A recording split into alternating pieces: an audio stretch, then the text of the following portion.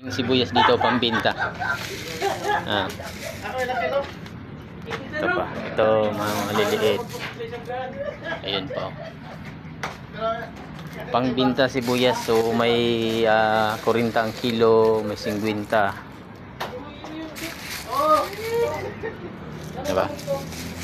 Kaya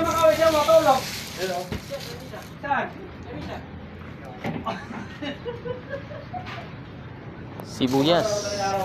Dami no? Pangbinta na sibuyas. Okay, friends na. Oh. Ay, number number na Yan, lang talaga malalaki. Oh. Malalaki oh. Ito ang 50 ang kilo. Malalaki. Ayan, tarik na. Tsaka ito. Mahirap maghanap ng kanya kalalaki kaysa palengke. Mahirap ka mag- Hindi, mahirap talaga mag ano yan, mag sizing. So dapat pagkan. Pero itong mga ganito, good size na to. Itong mga ganito. Pwede din, di ba? Oh. Good size. So, bibili si ano ng 30 kilos worth of uh, 1,500. Ha? Yan, ano yan? Tol. Diba?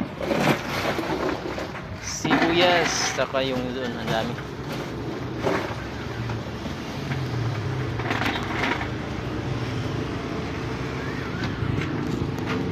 I-stock namin yan kasi pag nag